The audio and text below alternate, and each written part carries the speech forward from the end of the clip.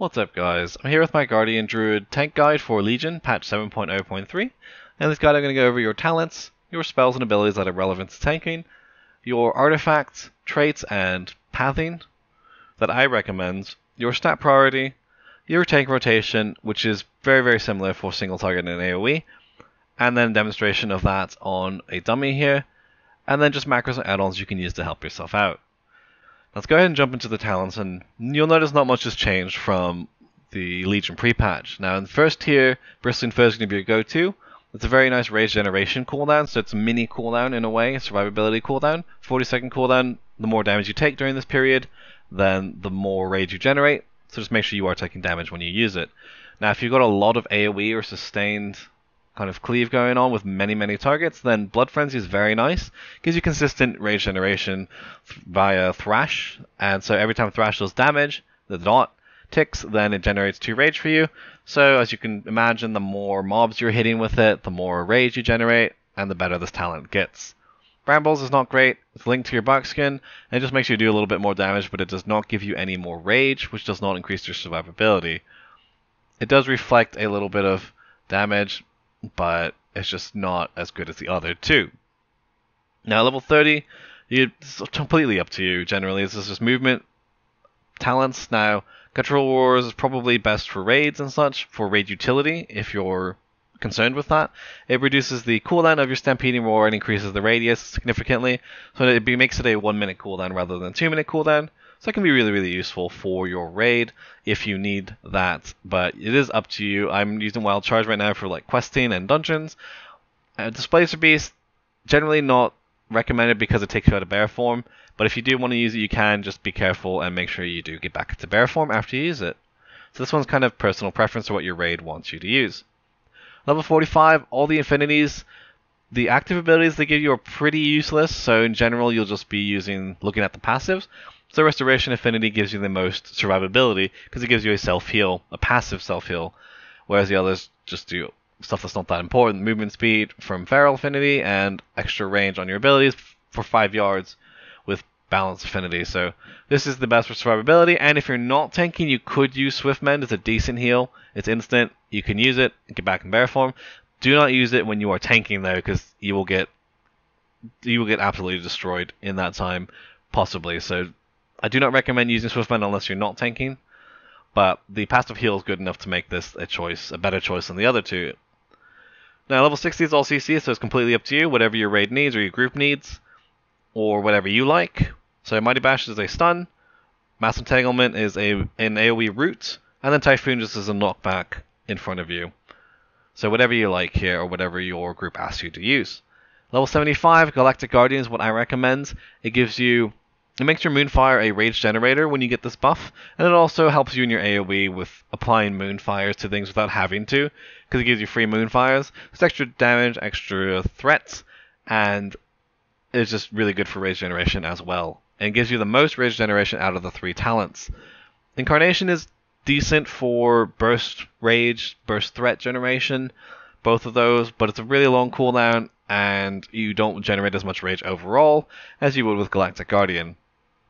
It does also make your Mangle cleave, so it can help you a little bit with kind of cleave threats, but not really AoE threat. If you have more than three targets, you're going to be missing one of them or more than one with your Mangle. Soul of the Forest does not generate as much rage as Galactic Guardian and has no effect on AoE, so it kind of loses out on both things there, so I don't really recommend this at all. Generally, Galactic Guardian is what I would recommend for everyone. Now, level 90, Guardian of Elune is your default go-to. It increases the duration of your active mitigation spells, your Iron Fur Mark of Ursol, by 2 seconds, and it increases the healing of your Frenzy Regen. Now, it only increases one of these, so you get, you get this buff, Guardian of Elune, and then the next time you use one of those three abilities, it will buff that one. So, whichever one you choose, it will buff them, but they're all pretty significant increases to survivability if used properly. So, this is a really, really good talent and can really do good stuff if you're actively tracking it and making good use of it. Now, Survival of the Fittest can be useful if you need the reduced cooldown on your defensive cooldowns to line up with boss mechanics, is probably the best way I could say it. So if things, for example, Barkskin by default is one and a half minutes, this would make it one minute. So if there's a mechanic that happens every minute on the minute, then this would be really good because then you always have Barkskin up ready for that. Although, of course, with the artifact traits, it's a little bit lower, but just as an example. So if this allows you to use your cooldowns for every boss mechanic that you need, then this becomes really good, but it's not as good consistently as Guardian of Elune for survivability. And Earthwarden is just not really comparable to the other two. It just reduces the damage of auto attacks from the boss of the next one, and it's just not great. So I recommend one of the other two. Now, level 100, I recommend Rend and Tear. It gives you survivability, it reduces the damage you take by 6% essentially once you get your three stacks of Thrash rolling. And it also increases the damage you do to the targets that have the Thrash debuff. That's both a survivability talent and a damage increase. Now, Pulverize technically gives you a little bit more survivability, gives you 8% damage reduction, and it consumes two stacks of your Thrash, but it does not increase your damage at all. And so, I recommend Rend and Tear because it's a very, very slight loss of survivability to lose 2% of the damage reduction for 6% extra damage. Plus, using Pulverize takes away two stacks of Thrash, so you have to then reapply extra stacks, and every so often you're kind of losing damage out. And it is fairly important that tanks do some damage, especially in dungeons and such when there's only five people. Lunar Beam just not great. It does decent heal over 8 seconds. It's a 1.5 minute cooldown, does like a little bit of damage too. But compared to the other two, it's just not as good. They're very, very consistent. You can have them up 100% of the time, essentially, after the, the initial ramp up, of course. And so these are just really, really good versus Lunar Beam. So those are your talents. Let's go over your spells and abilities that you use as a Guardian Druid. Now for damage, you've got Mangle, short cooldown, single target, does more damage to bleeding targets, so things that have your Thrash, and it generates Rage. Now, it generates more Rage if you have a proc of Gore, and it's just when other abilities reset the cooldown, so you, get, you can get a free Mangle just from doing other stuff, other offensive abilities, and then when you get that little buff, Mangle then gives you 10 rage instead of 6. So it just gives you a little extra rage. You don't have to keep track of it too too much, but just know that you may get extra rage from Mangle. Thrash, your AoE dot ability, it thrashes around you, a little radius around you, and it applies a bleed, and it can stack up to 3 times when you're in bear form. So it generates a little rage as well when you apply it, but the dot itself does not. Then we got Moonfire. Pretty simple, just does damage over time, very, very small amount up front, and then a fair amount of damage over time. Again, if you have the Galactic Guardian procs and the talent, then it actually generates 15 rage as well, but otherwise, without it, it does not do anything for rage generation. Then we got Swipe as our filler. Very simple. It's instant, it's free, you can spam it. It does a little AoE damage around you. And then Maul. That's an ability I don't really recommend using a lot, but it costs a little bit of rage, very short cooldown, does small damage, and it's kind of a rage dump, if you will, but not very useful when you're actively tanking. Now, as far as defensives go, we do have Iron Fur and Mark of Ursol, and they're your two kind of active mitigation, your main defensive abilities. They have half a second cooldown, and they cost 45 rage each. Now, Iron Fur increases your armor by 100%, and it does stack. So when you spam it, it doesn't refresh the duration. It actually puts another layer on. So if you want to spam Iron Fur twice, for example, in a row, then you will have 200% extra armor rather than 100%. Now, if you cast Iron Fur, and then two seconds later you cast Iron Fur again, for four seconds you're going to have 200% armor, but then once that first Iron Fur duration drops, you're going to go back down to 100% for the last two seconds or so of the second Iron Fur that you used. So that's kind of how that works. It's for your physical damage reduction. You can spam it to kind of stack it up. And then we've got Mark of Ursol. That's just very simple. It does not stack with itself. It just reduces the magic damage you take by 30%, and reapplying it will add to the duration. So those are your two main abilities. Just kind of use which one you need to, you know, at what time when, when you're taking certain kinds of damage. Now, along with that, we do have Frenzied Regen, and it costs 10 rage, very, very cheap. It's got a two charge system with a fairly lengthy cooldown for active, not active mitigation, but kind of self heal. And what it does is it heals you for half of the damage that you took over the last five seconds. Now it does heal you as a hot, but it's a very sh- short hot, so it'll go very quickly. Basically, you want to use this after you take a big spike of damage. It's very, very powerful if you use it correctly. As far as cooldowns go, we do have Barkskin. It's a one and a half minute cooldown. Now, if you have your artifact traits, you will notice that, like I do, so it's a little bit shorter than that. It just reduces the damage you take by 20%. Very simple. Short cooldown, use it when you need to. Now, if you need a big, heavy cooldown, we got Survival Instincts. It's a 4 minute recharge, and it's got two charges, but it's a very, very long cooldown. And it reduces the damage you take by 50% for 6 seconds. So, really, really powerful defensive cooldown here. And then our artifact weapon gave us Rage of the Sleeper, so it's an extra cooldown we have now. And it's a 1.5 minute cooldown, and it essentially reduces the damage you take by 25% and reflects damage back on the attackers. So it's a kind of a small cooldown, similar to Barkskin, does a little bit more, and with certain talents in the artifact weapon, it'll do even more than Barkskin. But it's a short cooldown, so use it pretty liberally, but I'll get into that in kind of the rotation section. Uh, as far as utility, we have Stampeding Roar. It does AoE movement speed for your group if they're close enough to you. We have Interrupt, of course, and Skull Bash. And then we've got Remove Corruption, which I don't really recommend you use because it takes you out of bear form, but if you really need to, you can dispel Curse and Poison. And then we do have Battle Res and Rebirth, and it only costs 10 Rage, so it's really, really nice to be able to use. And you can use that in bear form, I believe. It will not take you out. So those are your spells and abilities. Now let's go ahead and look at your artifact weapon. So you've got the Claws of Ursoc, and your first ability we've already talked about is Rage of the Sleeper, but in case you skip to the section, it's just a one and a half minute cooldown, kind of similar to Barkskin, 25% damage reduction, and reflects some damage back. Now, you do want Embrace of the Sleeper, this golden trait up here, pretty much as fast as you can. It's kind of it's really, really important. It buffs your Rage of the Sleeper, your cooldown, and it makes it so you deal extra damage as well, and you get 25% increased leech, so it makes it like a better defensive cooldown and also makes it an offensive cooldown as well. And then it makes you immune to CC effects.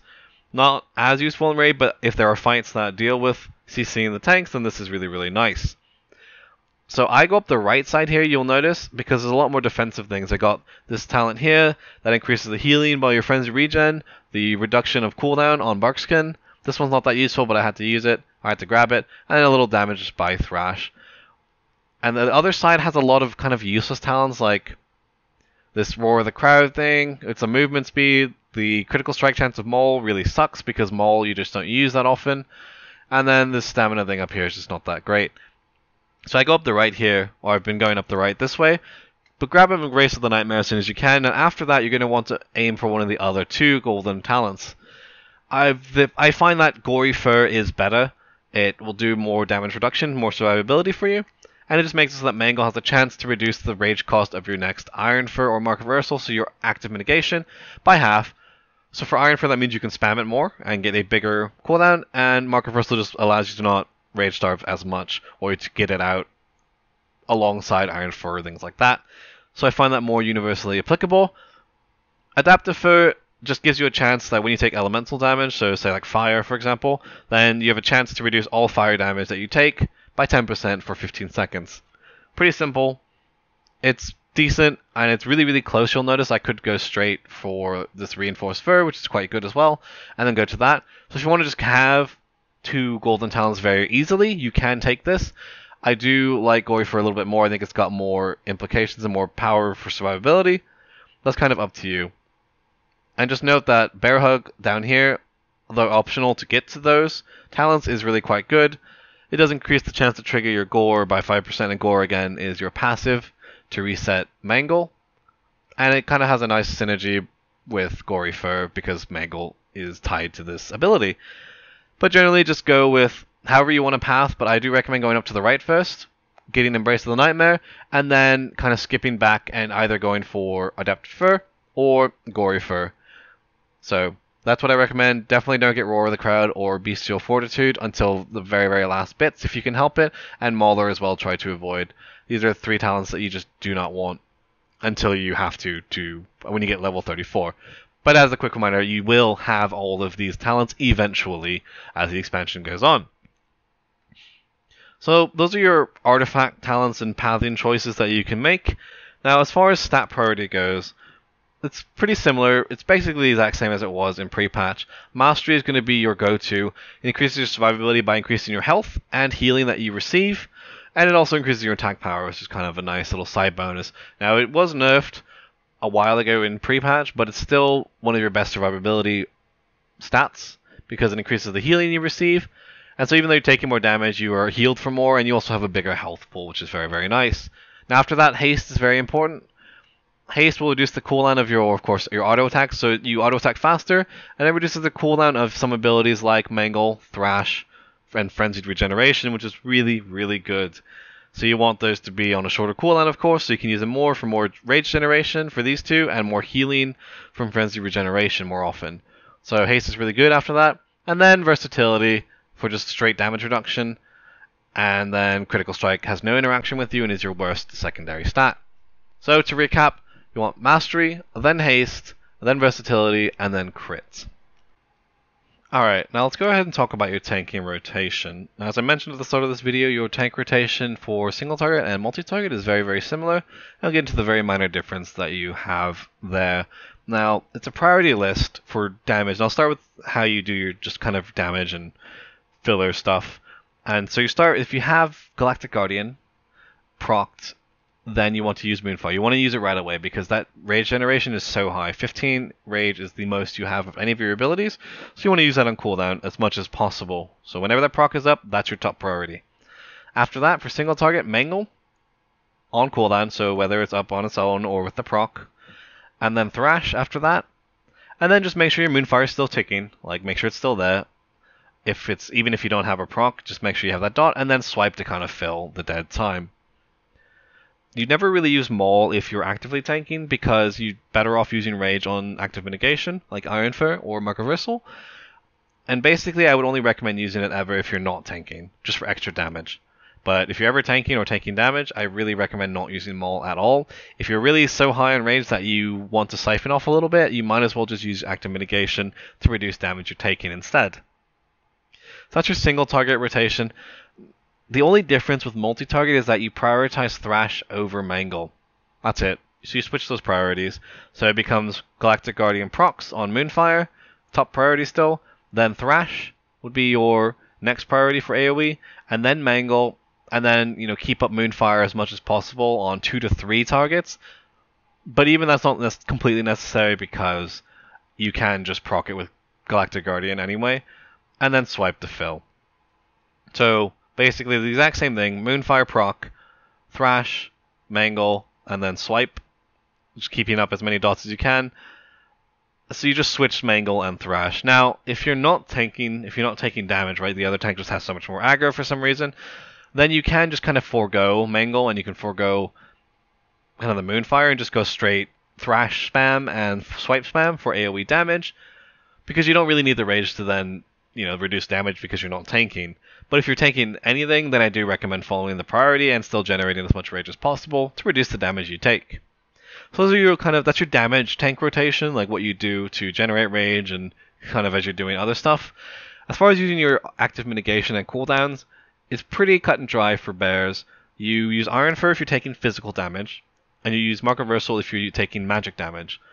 So that does mean you have to do a little bit of research and look at your boss fight, like, oh, what's what's he doing?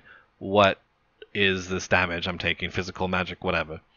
Again, remember that Iron Fur can stack, so you can spam multiple Iron Furs in a short duration and have a big armor buff.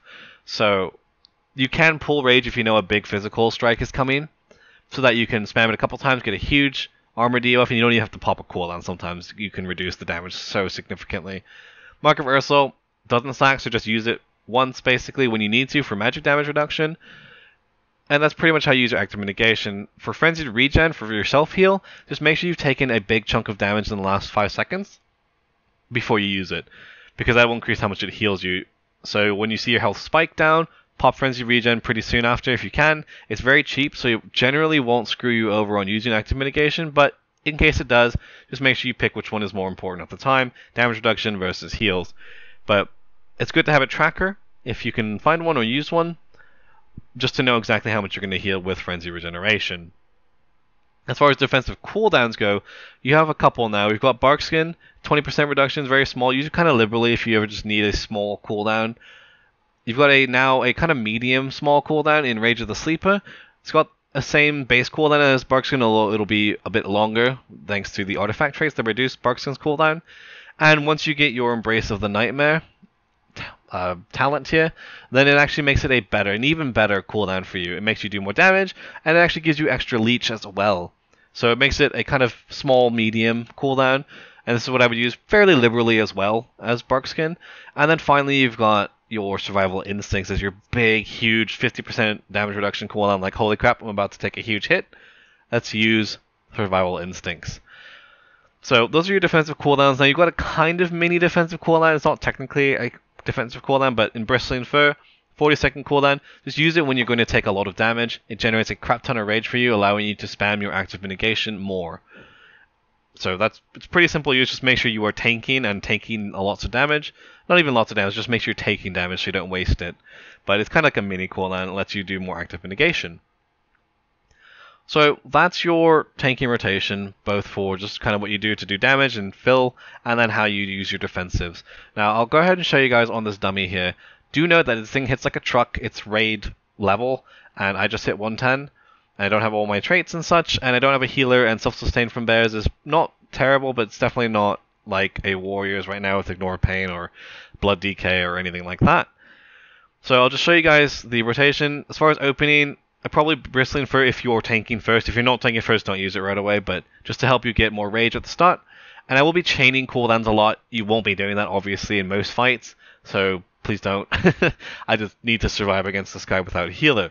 So I'll start here. I'll charge in Bristling Fur and then Mangle, and then go from there. So I'll charge Bristling Fur Mangle, Thrash, I'll pop Iron Fur, get my dot up, I'll probably pop a heal here and a trinket, and then Mangle's up, and then Thrash is up, Iron Fur when it's up, when I have enough Rage. Now maybe I'll Rage with the Sleeper here with Barkskin, Mangle, Thrash, and I'm not getting any procs, I'm just swiping. Heal, Survival Instincts, pop Iron Fur when I can, I got a proc for Moonfire, and then proc for Mangle, and then I'll probably back out here, but, you know, I have enough rage to use Iron Fur, and so on. Now, there I just use Iron Fur because it's mostly physical damage, but of course, if you're using taking magic damage, then you can use Mark of Ursol. So, that's pretty much it. It's a very simple rotation.